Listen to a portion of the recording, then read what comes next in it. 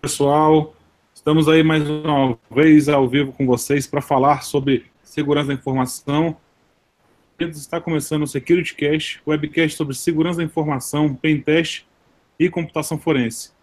E antes de me apresentar, vou pedir aos nossos amigos aí para se apresentar. Obrigado, Azevedo, por atrasar mais um webcast, não posso deixar em claro isso aí. Pode começar por você, já que você é foi o cara que atrasou.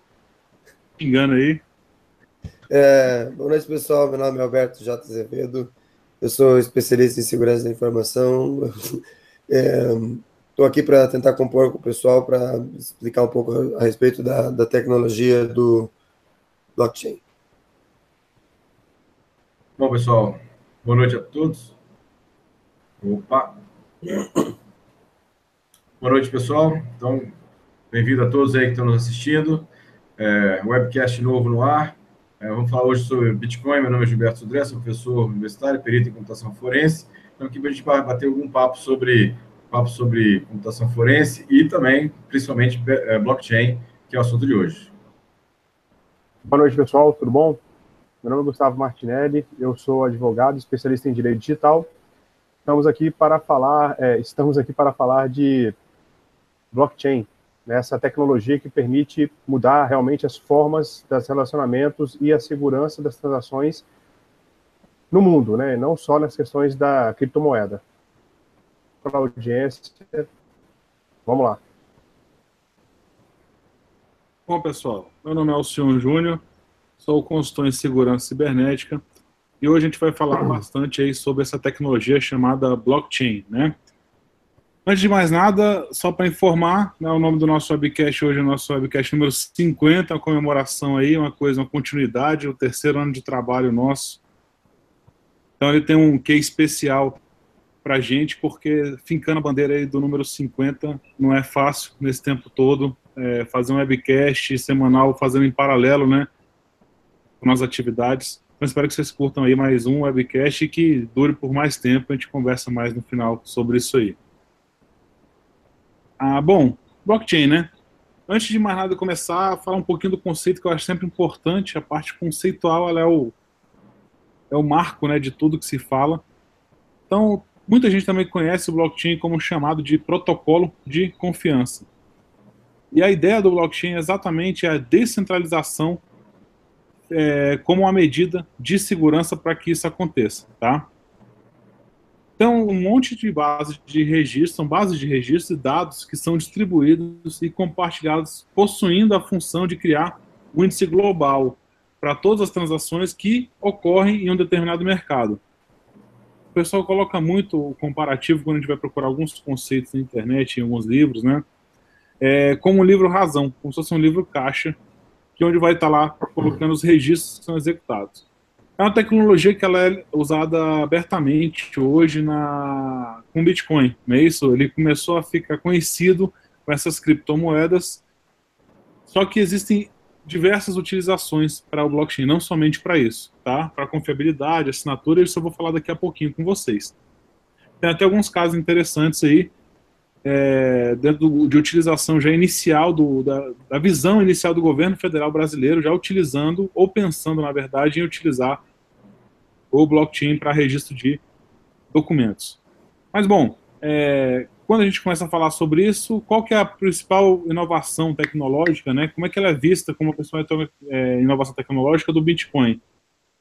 Como é a prova de todas as transações em rede. Então, você vai ter uma certeza que as transações ocorreram e que ela vai ficar registrada de alguma forma. Mas antes de a gente dar esse passo inicial, a gente tem que entender que ela é baseada não somente em registros. Esses registros eles são feitos em quatro fundamentos, tá? Então, o primeiro registro compartilhado de transações, que é o chamado ledger. Temos também o consenso para verificação das, das transações, um contrato que determina as regras de funcionamento para essas transações e, por fim, o que é fundamental nesse processo todinho, que é a criptografia, que é o que vai firmar o contrato, digamos assim, né, para que realmente aquelas informações não fiquem sendo repassadas, enfim, que ele fique escondido de alguma forma. É, uma vez criada essa rede de negócios, tá? Define-se então quais são as transações e os processos que vão utilizar essa base desse blockchain, tá? A base disso e tudo. Vamos destacar alguns critérios básicos para a gente entender essa classificação. Primeiro, os processos têm que ser extremamente, são extremamente complexos e lentos, geralmente, e mantém essa cadeia de validação em vários níveis. Transações que exijam rastreabilidade. Se você tem uma transação que ela exige essa rastreabilidade, é um, é um foco, é, um, é importante pensar na utilização dessa tecnologia. É, que exijam registros únicos e não alteráveis, como a questão do blockchain, ou do, da criptomoeda, como destaquei no início aí. Processo de identidade, necessidade de aumento ou estabelecimento de relação de confiança entre esses membros de rede de negócio e novos modelos de negócio. Então, a oportunidade de utilização dessa tecnologia, ela é diversa, ela não é somente pensando em criptomoeda, porque muita gente só pensa nisso aí, né, mas nas verdadeiras, né, não aquelas falsas que apareceram aqui em Brasília, o pessoal foi preso, vale destacar isso aí. É... Outras coisas interessantes, né, depois que você pensar em tudo isso aí, como é que você elegeu o processo? Tá? Eleger um processo, eu vou pegar o blockchain como uma camada, digamos, intermediária entre essas transações e a camada de sistemas, ou seja, que vai ser da estrutura legada. Então você programa-se com blockchain um contrato, que são essas regras que vocês vão aplicar, que são chamadas de chain nodes, né? Chain codes, desculpa. E aí, então, essa programação vai incluir diversos níveis de acesso de membros de rede, a informação que vai poder obter, que tipo de acesso vai ter, e aí você vai colocando a regra total de negócio que você tem. Então, ele é um mundo realmente muito maior, tá, do que só falar em criptomoeda. Mas o bacana foi que a criptomoeda usou, deixou, né, é, que o blockchain se popularizasse na rede. A palavra blockchain começou a rodar bastante por causa disso. Mas enfim, eu não vou ficar falando muito inicialmente, vou deixar os nossos amigos aí comentando. Acho que o Sudré tem alguma coisa aí para colocar, né, Sudré? Eu queria só, assim, eu acho que a introdução foi bem legal, eu queria só entender um pouco assim, uh, o Ledger, que é esse grande arquivo, é uma base de dados que é distribuída e ali vão estar registrados todas as transações, seja transações de contrato, seja transações de moeda, seja qualquer tipo de transação que se queira. O legal, eu traduzido, traduzido o nome é, blockchain para cadeia de blocos, na verdade, o que acontece? Cada bloco, né, dentro desse grande arquivo, né, esse ledger, é, na verdade, é um container, vamos chamar de container que tem lá as transações. Isso é feito um código de verificação e esse código é incluído no próximo bloco e depois do próximo, o bloco, bloco seguinte é feito um cálculo de um, um hash colocado no próximo bloco, e aí sim encadeado, de forma que aí, como o senhor comentou, é, eu não tenho como voltar ao, alguns blocos atrás e, e alterar a, alguma transação que foi feita, ou seja, é como se fosse um registro é, que não tem como mudar. Depois que aquele bloco foi fechado e o outro e aquele resultado daquele cálculo do hash do bloco anterior foi colocado no bloco seguinte foi calculado o hash para o próximo, aquela cadeia foi fechada e não tem como voltar. Então, tudo que eu preciso de ter é, uma confiança de que ele, aquela transação ou aquele registro não vai ser desfeito anteriormente, né, ou que foi, foi feito e não vai ser desfeito depois, posteriormente, o blockchain se aplica a esse tipo de aplicação. E aí a gente pode ver uma aplicação diversa em várias situações, como, por exemplo, a parte de cartórios, a parte de contratos, a parte de moedas que foi bem utilizada, mas a gente tem uma série de outros locais que, de aplicações que a gente pode é, ter é, para garantir né, que aquela transação não, foi, não, não vai ser desfeita em relação a isso, usando a tecnologia do blockchain. É, o legal que você falar isso é exatamente essa questão dessa cadeia, né? Se você tem uma cadeia, para você desfazê-la, você vai mexer na integridade, o que depende de um conjunto de hashes e criptografias que não tem como não tem como, assim, é muito pesado a gente falar, né, ainda mais de segurança, mas que até então não foi demonstrado que há como fazer essa quebra, tá? É uma coisa que eu acho bem. Pode falar. Assim, a, a, a possibilidade de você é, criar um ledger novo, né, um arquivo novo para fazer uma desfazer as transações, na verdade, você teria que ter é, mais de 50% dos, das, das as áreas né, dos, dos, computadores que estão minerando essa, ou estão verificando é, falar, E sem falar na questão de quando que foi escrito, né? Porque dependendo de quanto foi o bloco, você vai ter que reescrever a cadeia inteira depois que ele foi escrito. Exatamente, exatamente. Então, se você tem o controle de mais de 50% dos, dos arquivos, dos, dos, computadores que estão fazendo essa verificação, tudo bem, você até poderia. Só que uma coisa, é assim, a China, que, falando de Bitcoin especificamente, a China, que é o maior minerador hoje de moedas, criptomoedas, tem 30% ou 35% só do total, né? E é uma quantidade imensa de computadores. Então, é, você voltar ao bloco, né, e desfazer uma transação é um negócio realmente muito, muito complicado. É. Eu tenho uma apresentação gráfica que acho que a gente podia, vou podia passar ela rapidinho aqui, que ela tem, ela mostra nos quadradinhos como é que isso acontece. Deixa eu ver se eu pegar ela aqui. Esse é um cara didático, né? Mostra nos quadradinhos como acontece. Eu amo Azevedo, cara. Mas é o que, né?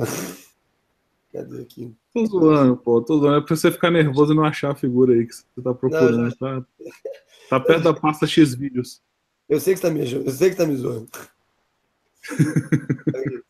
Se você não me zoasse, eu ia ficar surpreso. Aqui, ó. O Alberto.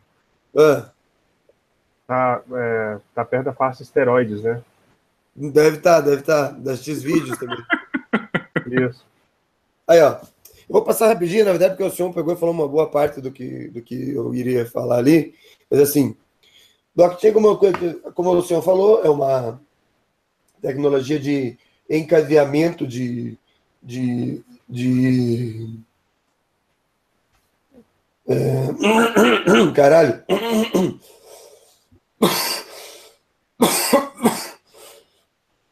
É um encadeamento de. de... Eu tive um poodle que morreu assim. Oi? Um poodle que morreu assim. É. É uma, é uma, é uma, é uma tecnologia de, de, encadeamento que surgiu mais ou menos em 2008, que foi junto com o, com o Bitcoin. Tá?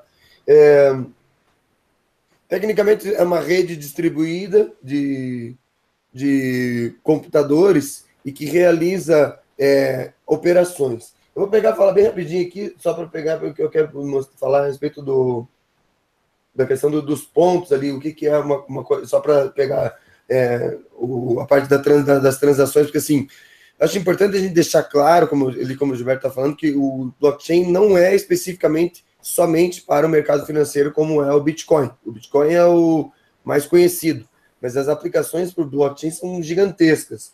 Então, assim, o, o Cada unidade de informação dentro do blockchain é chamada de transação.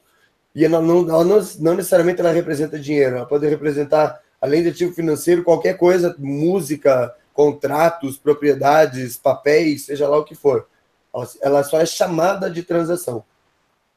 Aí cada usuário de transação ele possui uma identidade própria na rede e é de modo que é, todos os usuários conhecem de, se conhecem dentro de uma rede ela é mais distribuída, que ela não depende de alguém para confirmar a veracidade de uma informação, porque todos conhecem a informação que está dentro da rede.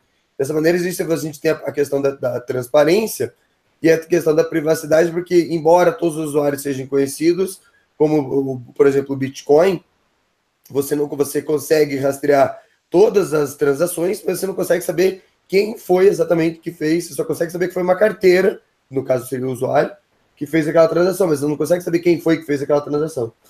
Aí, assim, é... quando a gente fala em termos de, de dados de identificação da, da, transação, dentro do Bitcoin, essas transações são, são agrupadas em forma de blocos, que daí que vem o nome da ferramenta, blockchain. E aí, assim, para os blocos serem feitos, é, são, é preciso respeitar uma série de, de, de é, de técnicas e de, de, de, de, regras. Então, por exemplo, tem um tamanho máximo de transações, um bloco ele pode conter no máximo, comportar no máximo uma, uma quantidade de, de X e, é, de transações para que elas sejam verificadas como válidas. E aí, assim, enquanto as, as transações estão paradas para ser adicionadas em um bloco, elas ficam temporariamente chamadas dentro de uma estrutura chamada pool. E os computadores das, da rede que a gente já, de, que estão presentes nessa rede distribuídas que já são conhecidos, são conhecidos, são, a gente chama de nós, e eles, eles competem entre si para ver quem é que vai achar um bloco válido primeiro dentro da pool. E aí, assim, quando um computador encontra um bloco válido, ele avisa os demais para que eles façam a checagem, e aí e, e, e é criado um consenso de validação. Esse processo de encontrar um bloco, quando você encontra um bloco válido, você é remunerado em uma, uma, uma, uma fração de bitcoins, e é o que a gente chama e que se conhece por aí como chama-se de minerar bitcoins. Que você recebe por essa, por você ter encontrado de, de, é, um, novo, um novo bloco válido dentro da rede. A questão, o problema é o seguinte, é para você encontrar, e aí que a gente diz que minerar Bitcoin não compensa, porque você minerar e você, você encontrar um bloco válido é uma tarefa que existe um poder computacional muito grande, tá? Mas assim, quando, mas prosseguindo aqui para a gente não perder muito tempo, quando um bloco, quando um novo bloco válido é encontrado na rede, ele ganha o que a gente chama de PO dado, que é um Proof of Work, e um hash que é um código composto de números encriptados que, que vai servir como um protocolo de que aquela transação, ou seja, da, do, do encontro do, do, da, do bloco válido, é, realmente é válido. E além disso, ele recebe o que a gente chama de POS, que é um Proof of Stake, e um protocolo que certifica que aquele usuário é dono daquela informação. Tá? Ou seja, aí o, o, depois do bloco, depois que o bloco é criado ele é validado pela rede e ele vai ser adicionado à cadeia de blocos da rede, que é também conhecida como blockchain. Eu tenho aqui, deixa eu ver que está mais para frente. Ah, eu ia falar um pouco da história, mas eu mostro depois. Aqui eu tenho uma, uma figura sobre as redes descentralizadas. Aqui, ó, da, da questão da tecnologia. Então, assim, é, cada é, bloco ele é encadeado a, a, a, é, dentro de um, atrás de um outro bloco. Por isso que a gente, por isso que a tecnologia chama blockchain, e por isso que mais para frente lá, depois que era que eu, eu acabei entrando aqui para falar, a respeito do. Deixa eu voltar lá para frente. Aqui, ó, da, da parte de ataques. Então, assim, nem o Gilberto falou, tipo assim, se, se, se o cara se o cara pegar e conseguir promover um ataque na rede no, no, no, no, Bitcoin, tipo assim, hoje em dia, tecnicamente, é quase impossível, tá? Mas vamos, vamos, vamos, vamos supor por um segundo que fosse possível, que a gente vai querer fazer. Para você alterar uma, uma, uma, alterar uma transação do, do, dentro do, do, blockchain não é tão simples quanto parece assim a, primeira vista. Então, assim, primeiro que você tem que entender que você vai ter que alterar uma rede distribuída, ou seja, você vai ter que enganar a rede inteira. Tá? Então, por exemplo, são mais de 5 mil servidores de, só na, na, na rede Bitcoin hoje. Então, você vai ter que alterar todos esses, toda essa informação dentro de todos esses servidores. Vai ter que dar um jeito de enganar toda a rede é, ignorando também a questão, a gente tá, não está falando, nem está entrando aqui na questão da parte que toda essas, essas, essa teoria que a gente falou e que a gente passou, toda essa rede é criptografada. Ou seja, vai ter que quebrar a criptografia, que demoraria uma parcela significativa de tempo e de energia, para depois tentar alterar essa informação. Mas vamos dizer que você pega, você consiga quebrar a criptografia e você consiga encontrar o bloco certo. Você vai descriptografar e vai encontrar a transação que você quer alterar. É, depois que você alterar essa transação, consequentemente o bloco vai gerar um novo bloco, bloco blockchain que está diferente do que está na rede. Ou seja, ele vai, vai, ser, vai, vai ser identificado como sendo inválido. Mas vamos dizer assim, assim, ou seja, não basta simplesmente você relocar o bloco na rede, você vai ter que fazer com que a rede inteira reconheça aquele novo bloco como válido.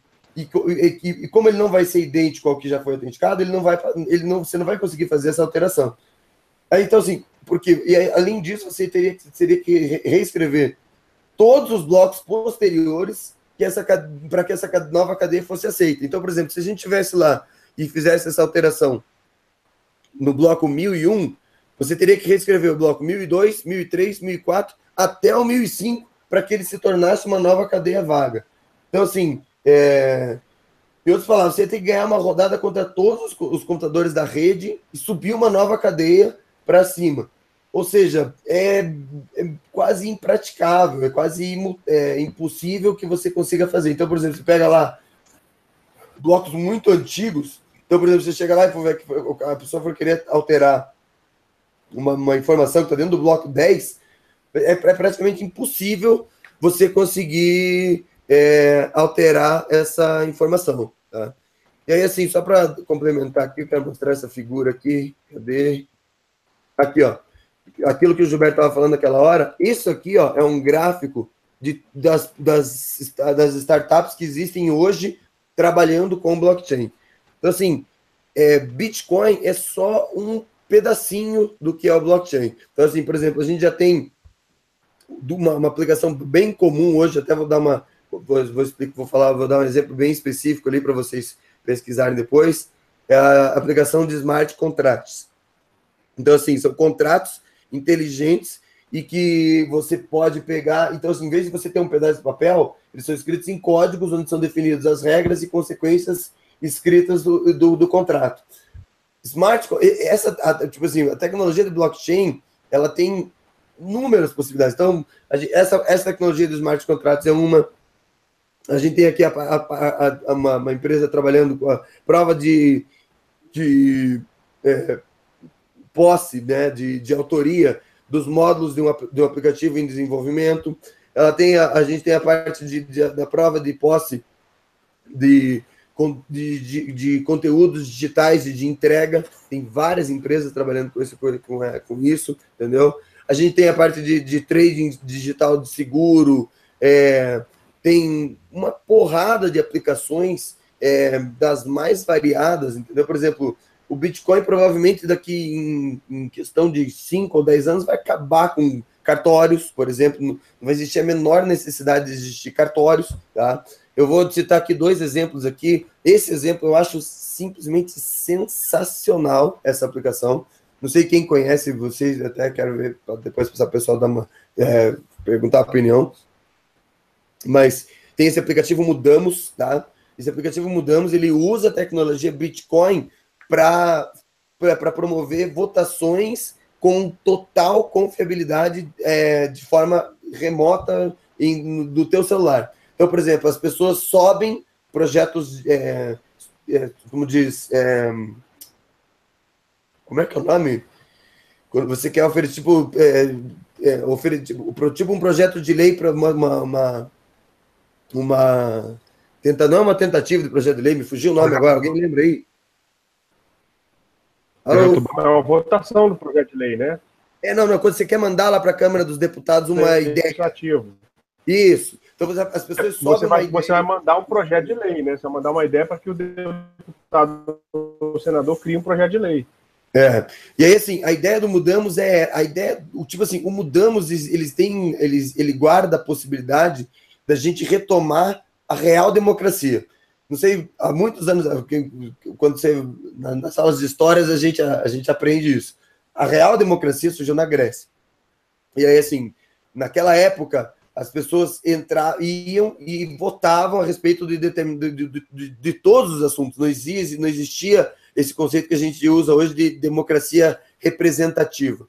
A democracia representativa surgiu quando a população começou a aumentar e começou a ficar impraticável que as pessoas votassem elas mesmas no que elas queriam. E aí surgiu a democracia representativa que a gente escolhe pessoas para tecnicamente ir lá representar a gente. O que acontece é o seguinte: como mudamos funciona com blockchain e qualquer pessoa pode votar de forma segura e garantir que é ela que está votando, quando essa tecnologia ela, ela pegar, ela for realmente ela, ela explodir, ela, ela vai oferecer a, possibilidade de que a gente vote direto no que a gente está interessado, no, no, no, que a gente quer ou no que a gente não quer. Hoje ele funciona como uma, como uma, uma maneira de mais, diga assim, é uma maneira mais segura e legal, por sinal, de enviar é, projetos para a Câmara, para o setor legislativo. Então, o que acontece? Alguém sobe uma ideia lá, você vota no projeto de lei, se você concorda ou se não, e aí, a partir do momento que ele tem um determinado número de votos, ele é enviado para que os, os vereadores, para que os deputados e os senadores apreciem. Mas como ele tem essa tecnologia por trás dele, ele, ele tem a. ele guarda uma, uma possibilidade de, de, de, de nos trazer nos próximos anos uma revolução na maneira como a gente leva a, o, a democracia funciona. E aí eu quero citar esse outro caso desse, desse aplicativo, desse aplicativo da Micélia, tá? Que é um, é um smart, ele é feito com base em smart contract, é uma, é uma plataforma baseada no blockchain, e ele foi criado pela cantora Imogen Rip. E ele faz a conexão direta entre artista e público. E aí, assim, ele visa uma remuneração justa para o criador do conteúdo e fomentando o ecossistema para que ele funcione de modo colaborativo. Então, o que acontece? Ele funciona assim, o consumidor remunera diretamente o artista conforme o modo do, do que, ele, que ele faz o consumo da arte, seja da música, seja do, do, do, que for. Então, por exemplo, quando um consumidor comum ele vai apenas ouvir a música no seu próprio, no, no seu próprio dia, no seu próprio consumo, ele faz a transação pelaquela música de uma determinada maneira e aí o smart, é como é o smart contract que tem regras definidas, ele executa uma cobrança conforme o uso. Agora, por exemplo, se uma outra pessoa for querer utilizar é, pra, pra essa mesma música para pôr na trilha de um filme, o smart contract ele, ele executa um outro tipo de cobrança específica para aquela finalidade. Ou seja, é, existem possibilidades gigantescas, entendeu? É uma, é uma tecnologia sensacional que eu ia falar um pouco da história, mas daí eu vou ficar falando muito tempo aqui, fica muito chato. É, deixa, eu, deixa, eu, deixa eu compartilhar minha tela aqui. E, que oferece, tipo assim, uma série de possibilidades. Acho que já voltou, né? Beleza. Que oferece uma série de possibilidades que, assim, é, o, o, quando, eu pus, quando a gente escolheu assim, o título do, do, do cast de hoje, é, o blockchain realmente tem a possibilidade de, de, mudar o mundo como a gente conhece. Ah, há, uns 20, há uns 20 anos atrás, a gente tinha as pessoas estudando a internet e os impactos da internet para saber como é que ela poderia mudar os negócios, como é que ela ia mudar a vida das pessoas. Hoje em dia, a gente tem que começar a estudar blockchain, porque o blockchain vai ser o próximo passo na, na revolução. E aí, e como assim, os aspectos de segurança deles são sensacionais, eu acho, é, realmente eu, faz tempo que o pessoal já vem pedindo para a gente trocar e tocar nesse assunto dentro de um cast. É, já que ele está falando de mudar esses, essa questão toda de negócios, né, eu queria ouvir do Martinelli a questão assim, o que, que isso vai impactar na questão jurídica, Martinelli, da sua visão aí.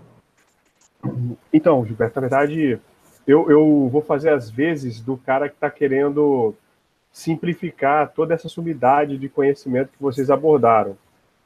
Na verdade, é, partindo assim do, do, do princípio, a, a, a, parte da blockchain, ela, ela se baseia.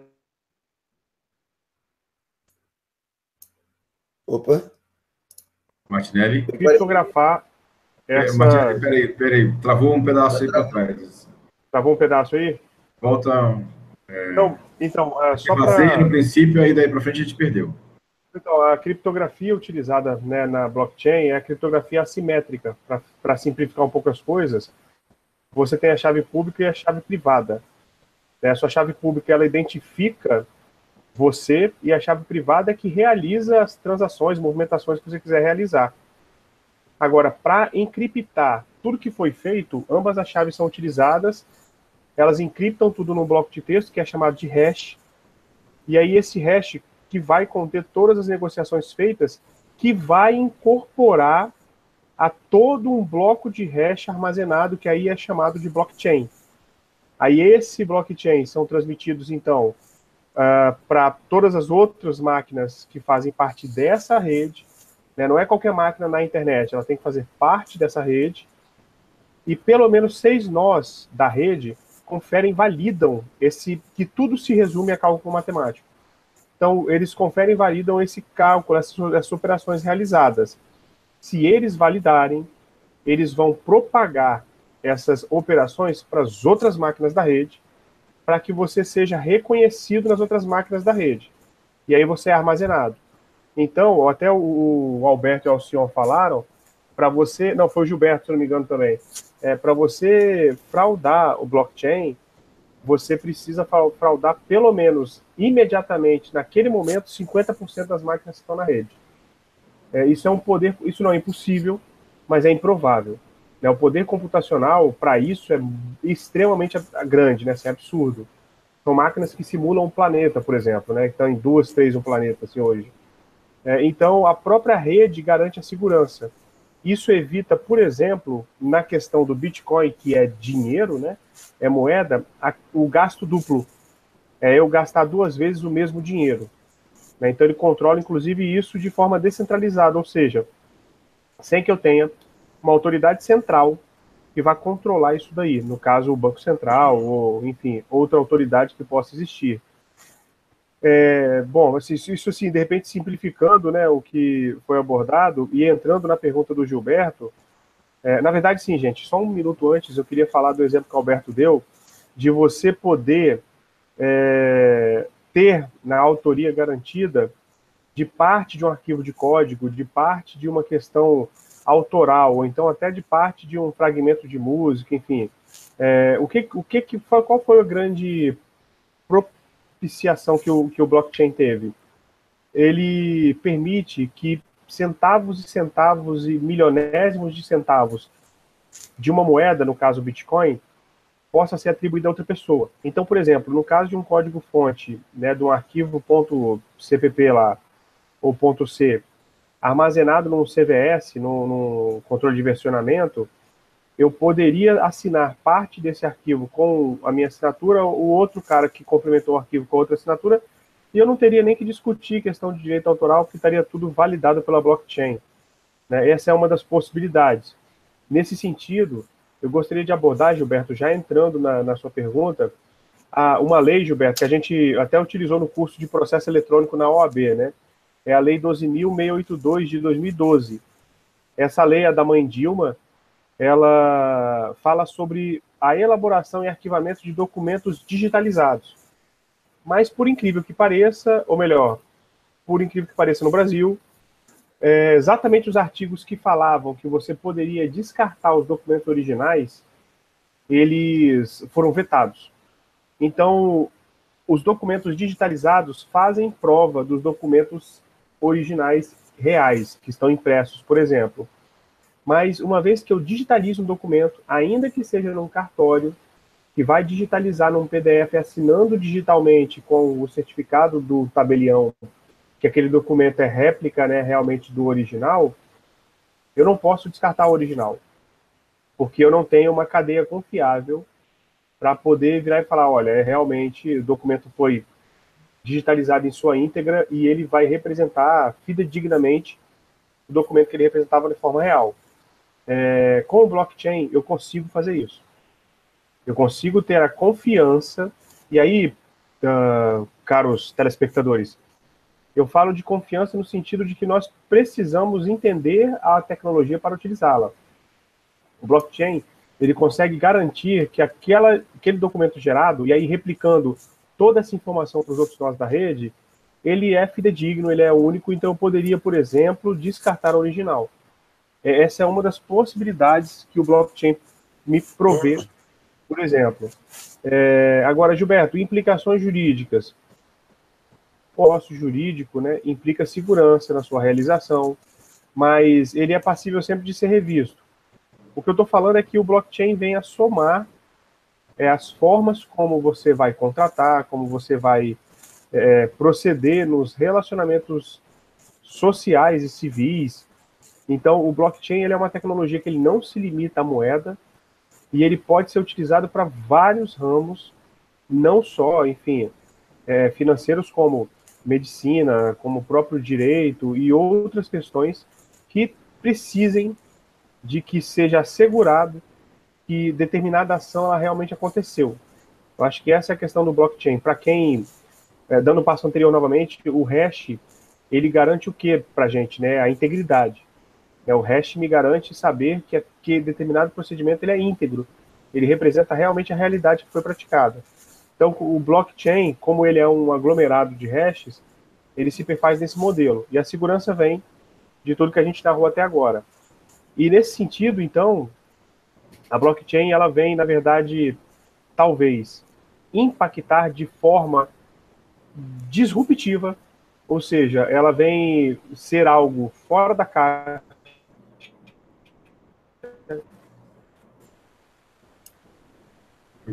Martinelli. Tá travando aí. Eu...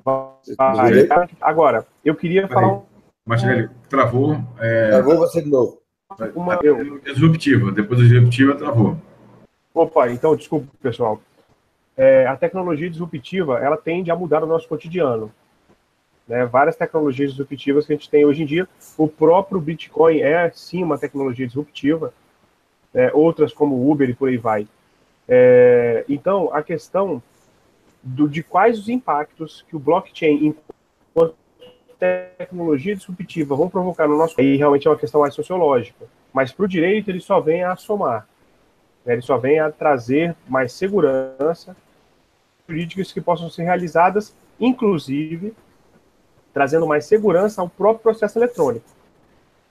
desde que o processo implemente né, a questão do blockchain. É, Agora, bem que... só um minuto, Alberto, rapidinho. É, tem uma questão que o Vin Search, né, o famoso pai da internet, ele, ele colocou um tempo atrás, e aí eu trago para vocês. É, supondo que eu digitalizei um documento, ele se tornou digital, eu validei ele com blockchain, e todo, toda máquina da rede consegue dizer que aquele arquivo é realmente o arquivo original da cópia do original, porque o original já descartei, rasguei, queimei, enfim. Eu não tenho mais o original, eu só tenho aquele PDF que está na blockchain, que está validado pela blockchain, desculpa. É, e aí, o Vincert falou: temos que nos preocupar em imprimir a internet. O que, que eu quero dizer? Se por um acaso, ainda que a internet tenha sido construída sob o modelo distribuído, se eu tiver uma catástrofe natural, uma invasão alienígena, ah, enfim, qualquer outra coisa que destrua, é, de certa forma, a cadeia, eu efetivamente não tenho mais rastreamento para garantir que realmente aquela transação é aquela transação. Então, eu diria assim, fica um ponto de observação que é qual o impacto de toda a confiabilidade humana ser só no virtual e não no real, se isso porventura vier a ser perdido. Para quem não sabe, nós estamos imprimindo toda a informação da humanidade, ou grande parte dela, em placas de pedra e armazenando numa, numa caverna de sal, para caso algum cataclismo aconteça no planeta e alguém que vier depois tenha algum rastro de quem ocupou esse planeta. Né? Sem entrar em questões religiosas. Né? É, então, esse é o ponto de observação que eu ponho. Né? O blockchain, na verdade, é o esperancioso que ele vá ser utilizado em outros ramos. Agora, e se, né? E se isso se perder?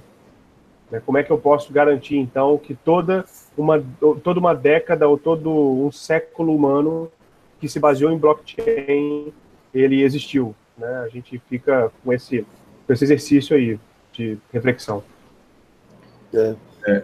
Tem essa, eu acho que isso é uma questão importante. Uma coisa que eu queria aproveitar que está acabando o tempo, eu queria falar com, tanto com o Gilberto quanto com o Martinelli, porque assim, tem uma aplicação do, do blockchain que eu vejo assim, ela, ela pode ser aplicada de forma imediata, que seria facilidade na produção de provas e evidências confiáveis para a utilização em juízo. Ou assim, vou pegar um caso, um caso simples. Um cliente procura assim e quer ajuizar uma ação por concorrência desleal, por exemplo. E aí o cara está imitando elementos característicos do site dele da, na, na web page do cara. Para a gente comprovar isso judicialmente, que o, que o, cara, o que, que o cara estava fazendo, até o momento o que, que a gente tem que fazer? Porque assim, se o cara quiser, ele pode rapidamente alterar o site de um minuto para o outro.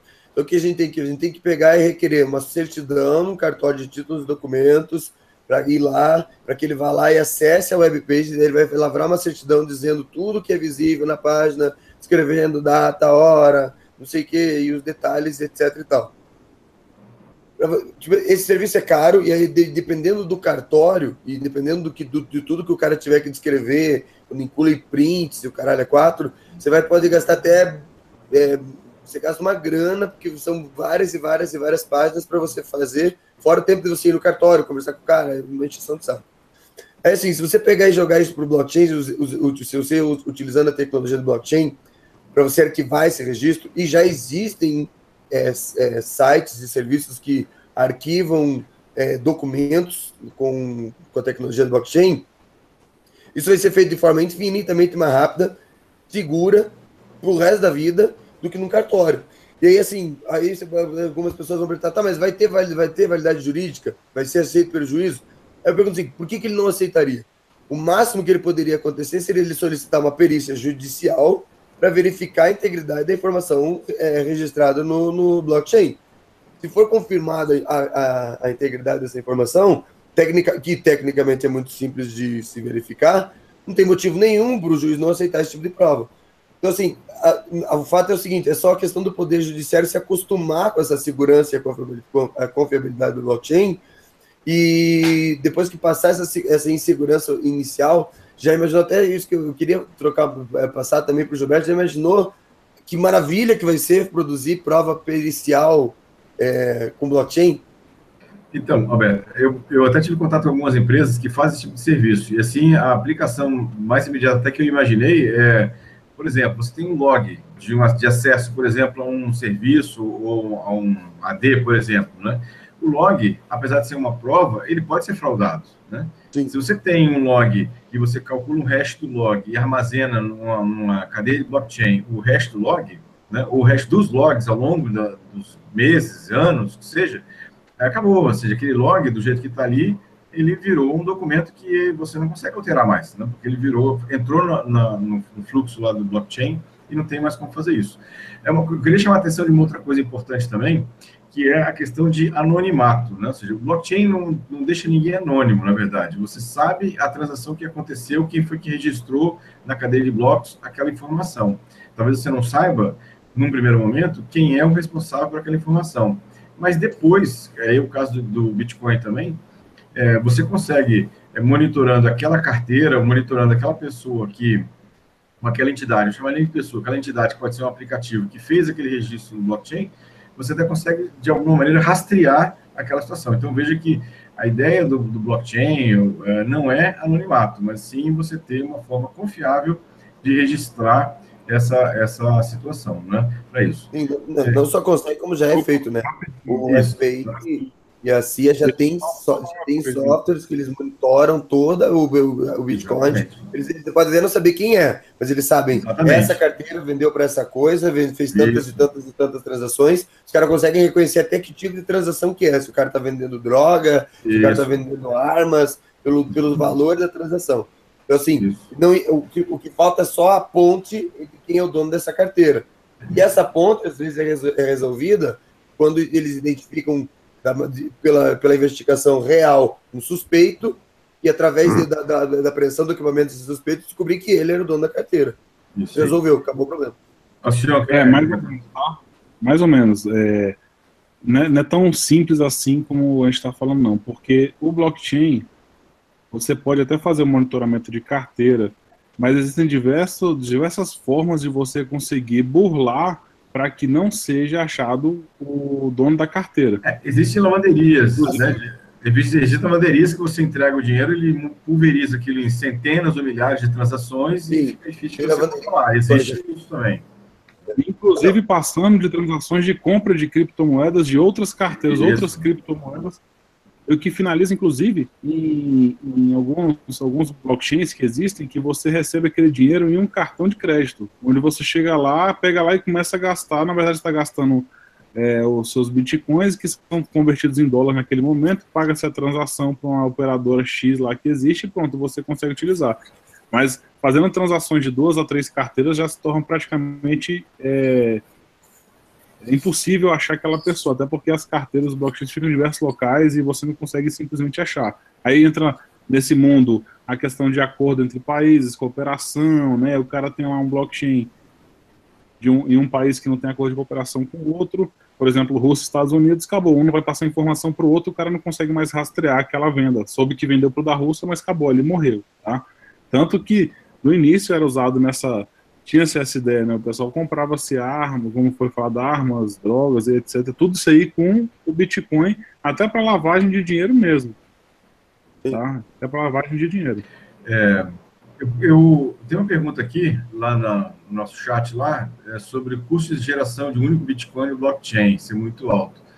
É, é, realmente aí, na verdade, até por causa disso, né, falando do Whisky que fez a pergunta, é que é, é houve um fork, né, pro Bitcoin Cash que, na verdade, o que, que eles fizeram? Eles aumentaram o tamanho do bloco para exatamente é, conseguir uma quantidade maior de transações ao mesmo tempo, e com isso diminuir um pouco essa necessidade de eu calcular é, os hashes, os, ou a mineração dos blocos muito rapidamente. Então, esse foi um, um, dos motivos dessa, dessa cisão, né, de aparecer um outro Bitcoin em relação a isso. Então, é, o custo de geração de um Bitcoin, computacionalmente falando, realmente é bastante alto, e por isso que houve essa, essa cisão, um dos motivos foi essa cisão de, moeda, né? Entre, não só do, outro não só do Bitcoin, né? De qualquer moeda dessas é. virtuais.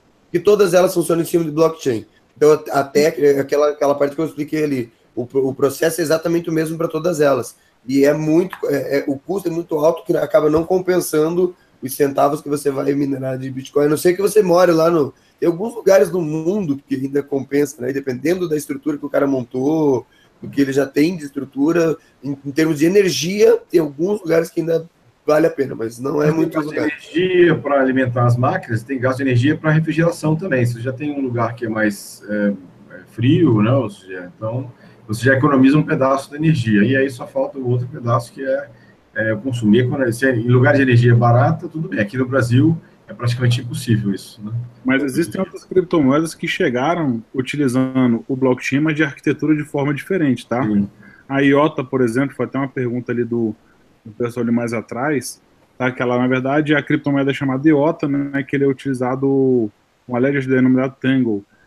Qual que é a grande ideia dela, né? Ele pensa em superar, ele tenta focar para superar as ineficiências dos atuais blockchains de uma forma mais simples de, de um sistema descentralizado, né, que é de uma rede peer-to-peer. -peer. Então, eles conseguem é, transferir seu dinheiro, a galera consegue transferir o dinheiro já sem taxa, ele começa a tirar algumas taxas que estão no meio do caminho aí.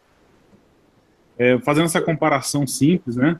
Tem muita diferença. Então, assim, duas, como eu falei, são duas arquiteturas distintas, mas elas são constituídas em cima de uma mesma ideia, que é a do blockchain, tá?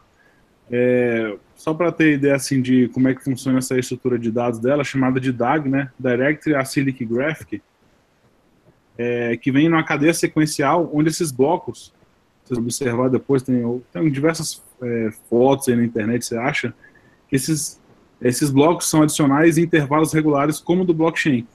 E aí o IOTA consegue alcançar um alto rendimento das transações em paralelo e também a sua validação. Ele não tem nenhuma cobrança de taxa porque utiliza as próprias máquinas. Então você não tem que ter grandes data centers ali para ficar refrigerando e para ter esse custo, como você estava falando. Ele já utiliza as redes peer-to-peer, -peer, os, próprios, os próprios computadores das pessoas que estão fazendo as transações. Legal. Beleza. É... Tem mais alguém? Alguém quer mais falar mais alguma coisa? Quer fazer mais alguma coisa? Estamos chegando no final já, faltam quatro minutos, gente. Isso. Vamos começar a encaminhar para os nossos reclames do Plim Plim ou alguém quer falar mais alguma coisa? Basicamente, assim, o que, o que me chama a atenção no blockchain realmente é esse, essa mudança de paradigma que ele vai gerar em uma série de outros serviços. Né? Seja, vai, vai impactar em muitos serviços é, inclusive alguns que a gente nem imagina nesse momento de, de, da aplicação do blockchain, mas que assim, a gente está, diria que arranhando a superfície ainda nessa situação. A gente vai ter muita coisa ainda pela frente para encaminhar, para aplicar essa tecnologia de blockchain. O, vou chamar assim, o, o, Bitcoin, né, ou as criptomoedas, é a ponta do iceberg, né? Gente vai ter muita coisa além disso. É isso aí, acho que é isso mesmo. É, é o que eu falei, que eu até comentei sobre essa outra moeda aí, IOTA, Tangle, né, que utiliza a rede peer-to-peer. -peer. Eu acho que agora vai começar a aparecer um monte de arquitetura, né, baseada na mesma ideia do blockchain, ou seja, criptografia, que foi aquele conceito básico que a gente que até comentei no início e vocês acabaram refutando a ideia, ou confirmando a ideia.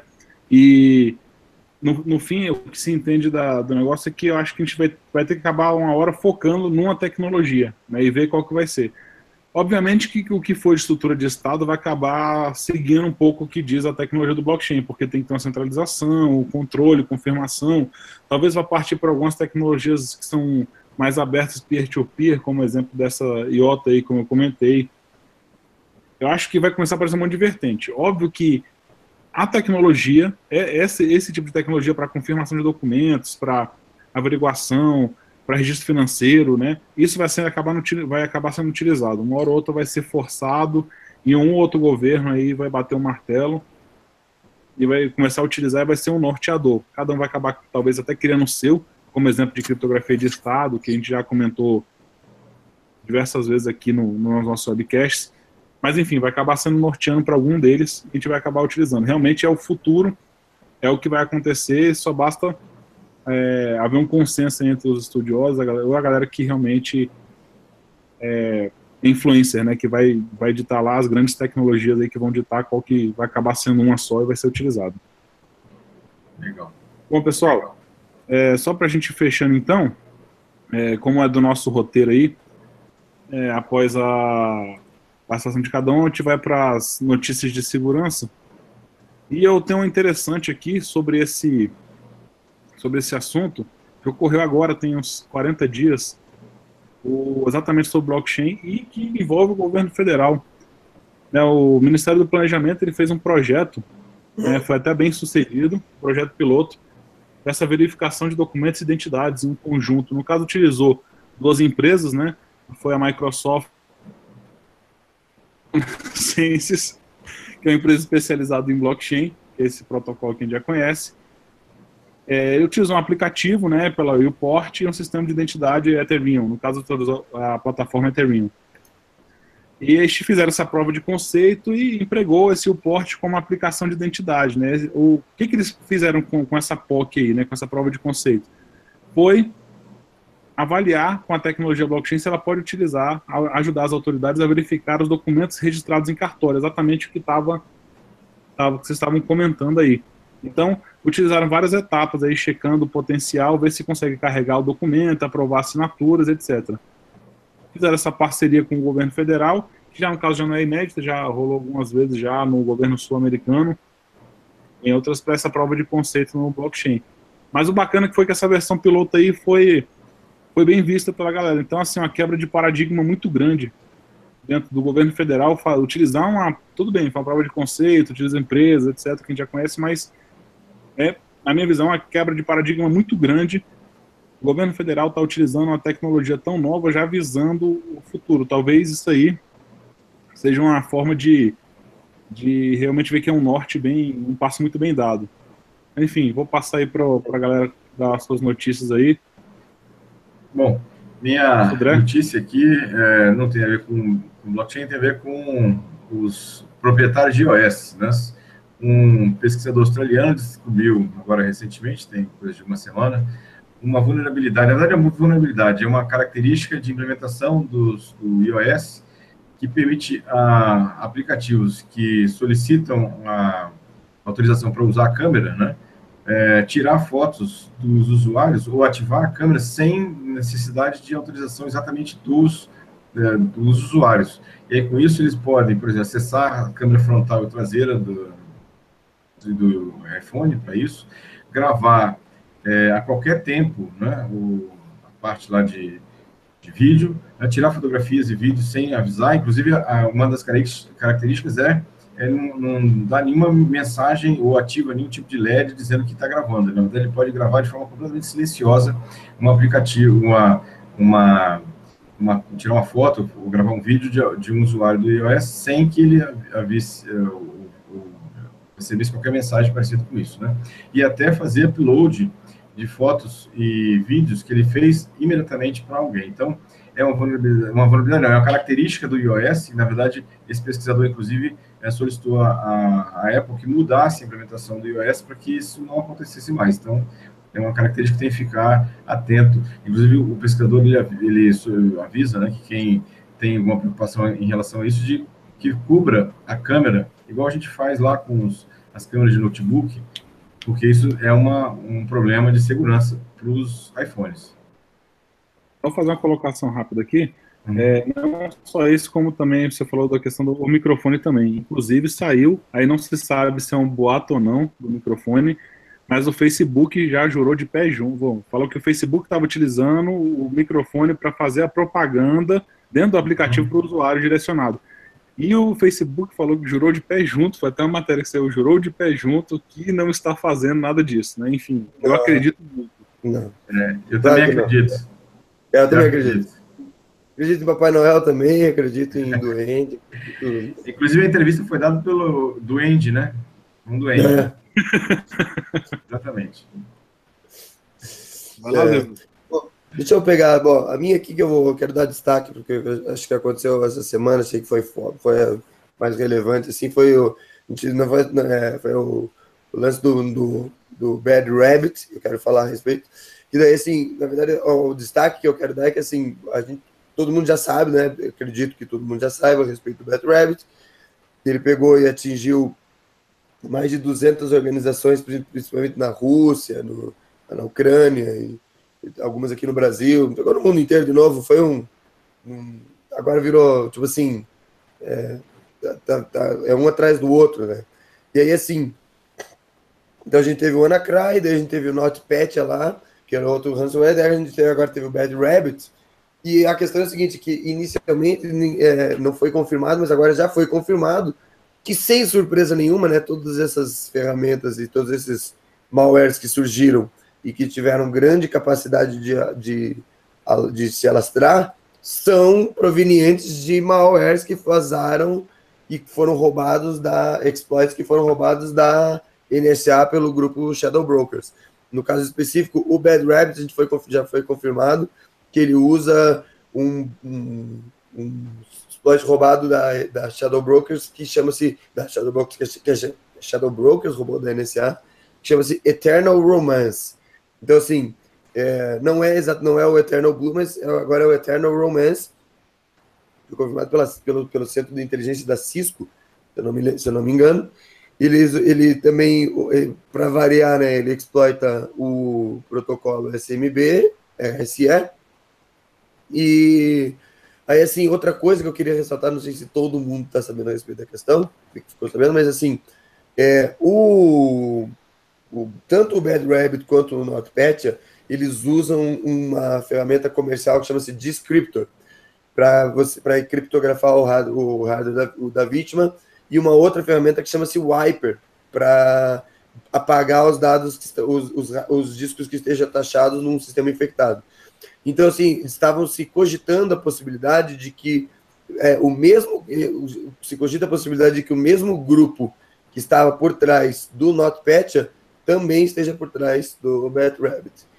Então, assim, foi essa da, das notícias que eu vi essa semana, assim, eu deixei essa aqui para destacar porque eu achei essa de, do potencial ofensivo dela foi bacana. Martinelli? Martinelli? Então, pessoal, uh, ainda está dando pano para manga, né? Assim, aquela questão da influência russa nas eleições americanas.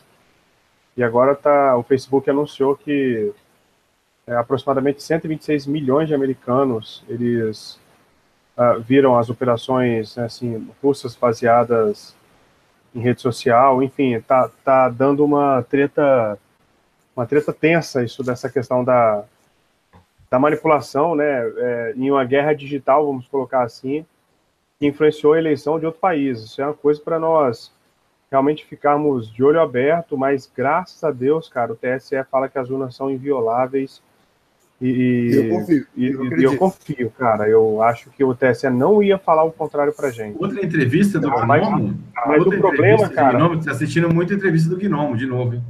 Cara, pois é, cara, pois é, mas o Gnomo, era, o Gnomo convenceu.